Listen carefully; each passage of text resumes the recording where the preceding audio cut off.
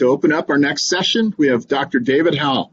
Dr. Howell is Assistant Professor and Assistant Director of Clinical Research in the Department of Orthopedics at the University of Colorado School of Medicine. He has a Master's of Science and a Doctorate of Philosophy from the University of Oregon, so he's a duck. Excellent. Active current collaborations, both domestically and internationally. Dr. Howell currently has collaborations with Boston's Children's Hospital, the University of Delaware, Chiang University, and the University College in Dublin. Ladies and gentlemen, welcome Dr. David Howell. Thank you for the invitation to come talk today um, about some of the research that we're currently doing uh, related to preventing injuries after sport-related concussion. So rather than uh, preventing the primary concussion um, after an athlete has sustained a concussion and is cleared to return to play, um, how do we identify who's at risk for further injury in that next six months, a year, two years, um, and, and what can we do about it? So for those of you who don't know me, uh, my name is David Howell. Um, I am a researcher at the University of Colorado School of Medicine in the Department of Orthopedics and the Sports Medicine Center at Children's Hospital. Uh, I have uh, research support from NIH and MindSource Brain Injury Network um, actively. Um, those are kind of my primary disclosures so that you know that. Um, really, I want to kind of talk about three different things today uh, in the 15 minutes or so that I have. Number one is just to get on the same page about the, the kind of existing literature and the theory about increased ri injury risk after concussion. Number two, to outline the, the potential factors that contribute to increased injury risk after concussion. What are the things that, that people have investigated? And then at the end, a little bit of pilot data from some of our ongoing work and some theories about, you know, what can we do to actually intervene um, for individuals who have uh, sustained a concussion and are cleared to go back to sports um, to, to reduce their potential risk of, of further.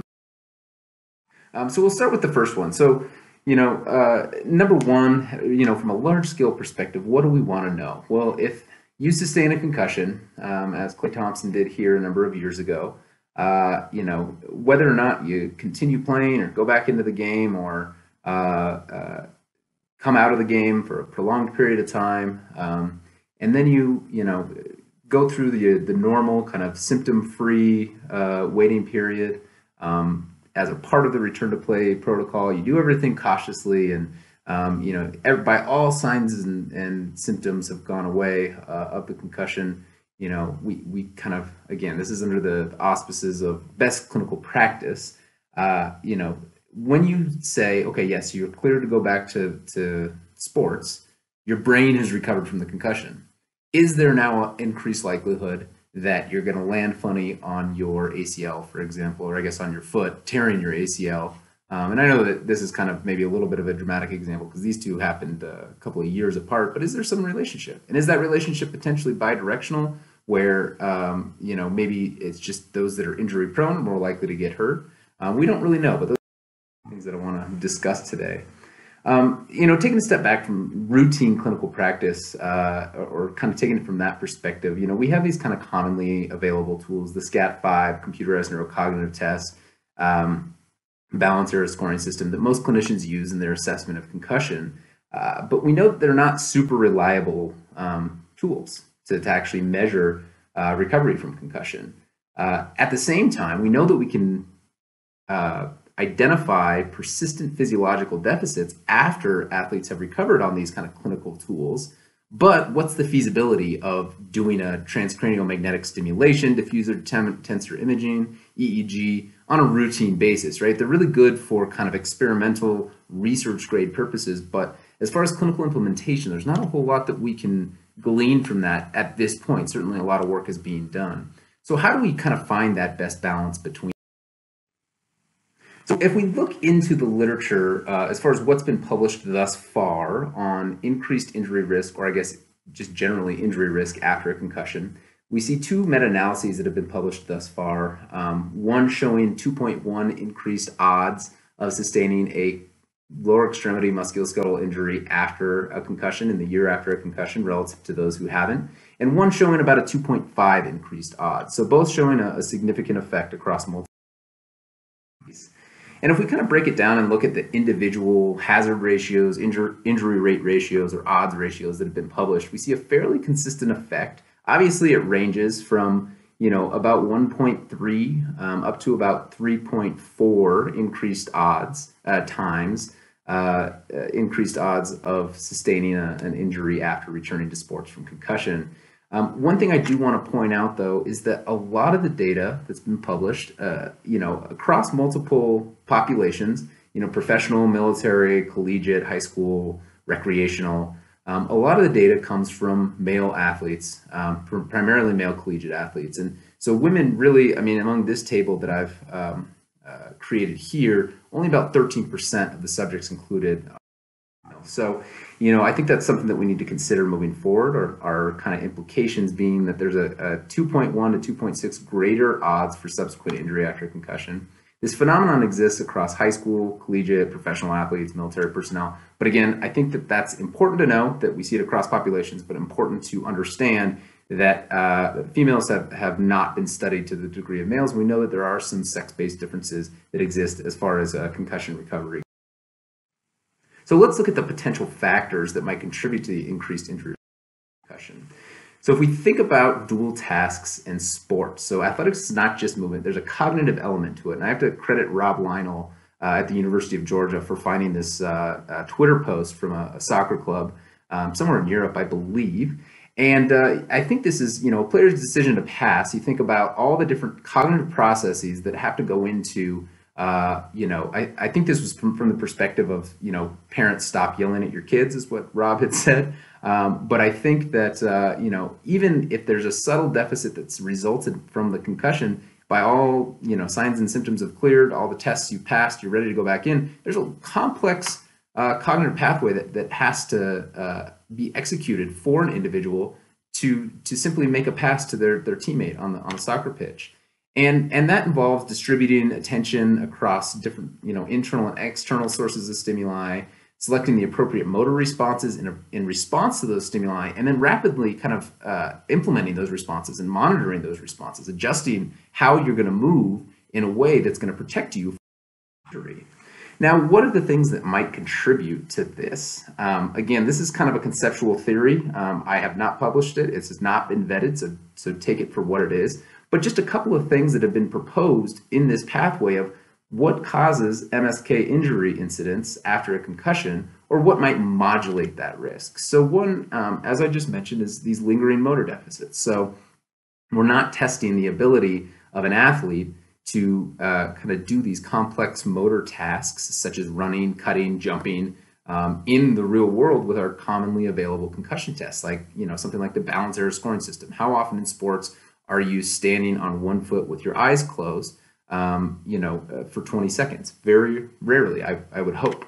Um, and and then at the same time, kind of these lingering attentional deficits. So if you can't distribute your attention properly across these different sources of stimuli, then perhaps you're at an increased risk for further injury.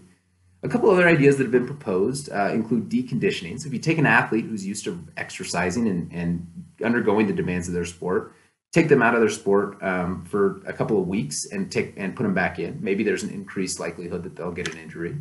Um, a couple other theories that have been um, uh, published recently is the concept of perception action coupling, um, or maybe just that injury prone athletes exist. And if you're going to get a concussion, you're more likely to get a musculoskeletal injury. If you're a risk taker, you're more likely to get any sort of injury. Um, and those two things may be.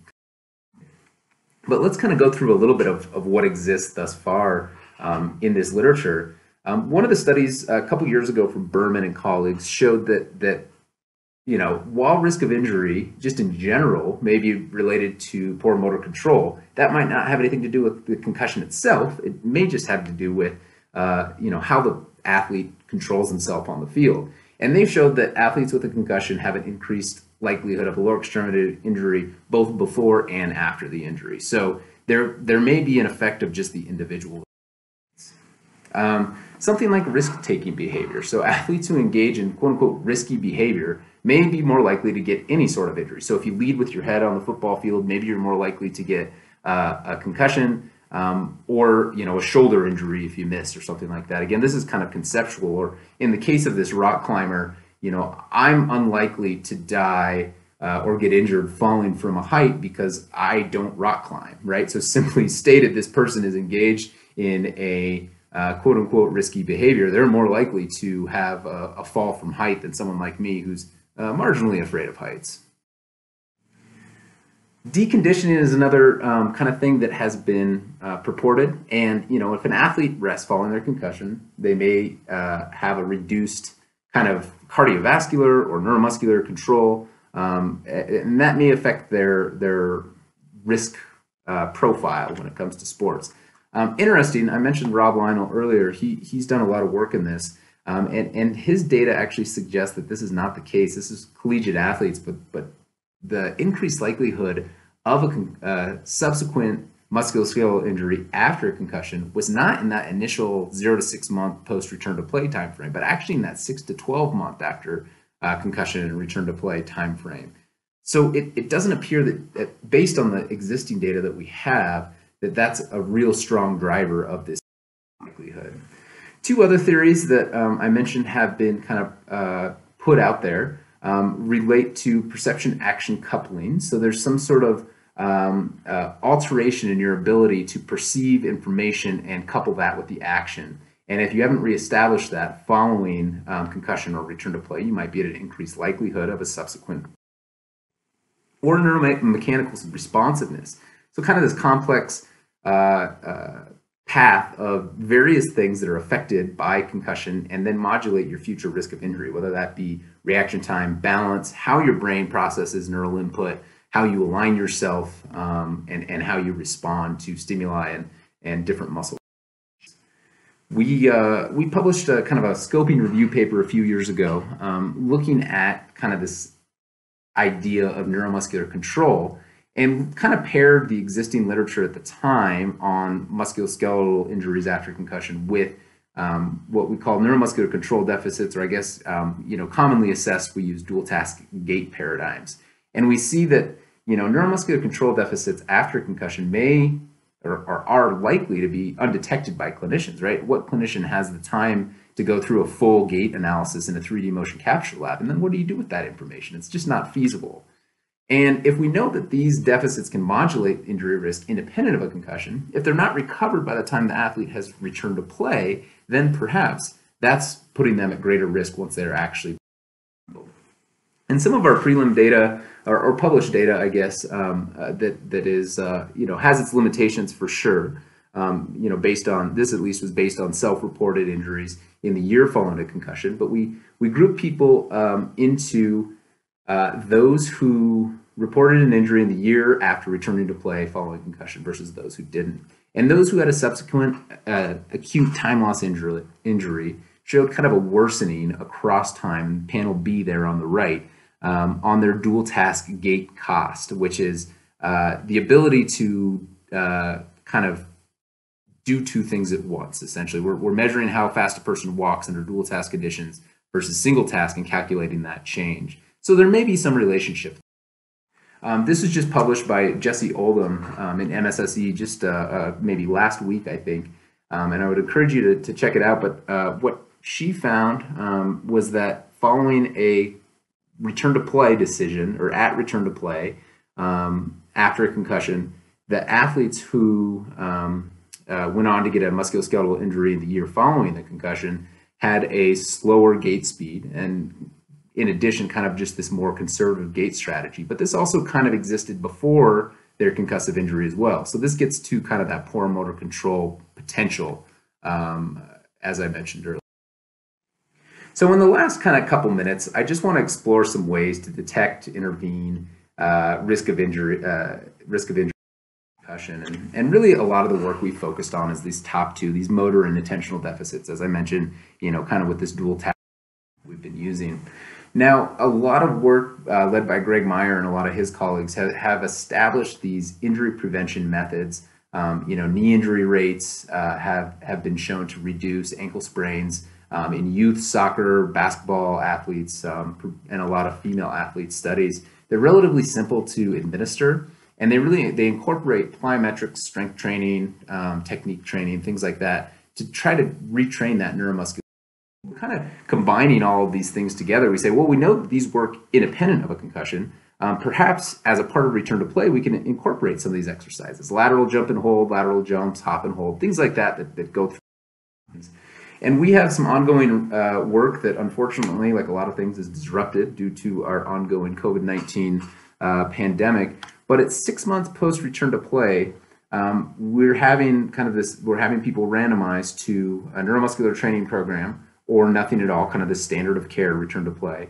And we see 9% at six months that underwent this training program have an injury, uh, one out of 11, um, whereas about 57% have had a subsequent injury who did not complete this, um, and similar exposure between the two groups. So again, this is very preliminary data, um, and, and I would ask you not to share it um, or kind of advertise it, but I wanted to, to, put it out there so that we're starting to think about how do we actually intervene um, as a part of return to play, and what can we do um, from a neuromuscular training standpoint. Um, there may be some continued beneficial effects on injury risk uh, following uh, return to play clearance, further training the neuromuscular. So we see that concussion leads to a greater injury risk, and there's measurable objective deficits um, after the concussion. So again, this is a pretty widespread problem. We don't have it down to a single factor. So I think this multifaceted approach is probably the best way that we, probably the best way that we can approach it right now. Um, and and start considering you know whether it's motor or attentional training within routine um, return to play decisions. It may be appropriate. I don't think it's going to certainly cause any harm at this point, um, and it might be interesting to see um, if this if this continues uh, and is something relevant that we can actually change within the return to play paradigms. So, with that being said, thank you so much for um, the time, um, and I look forward to the question and answer.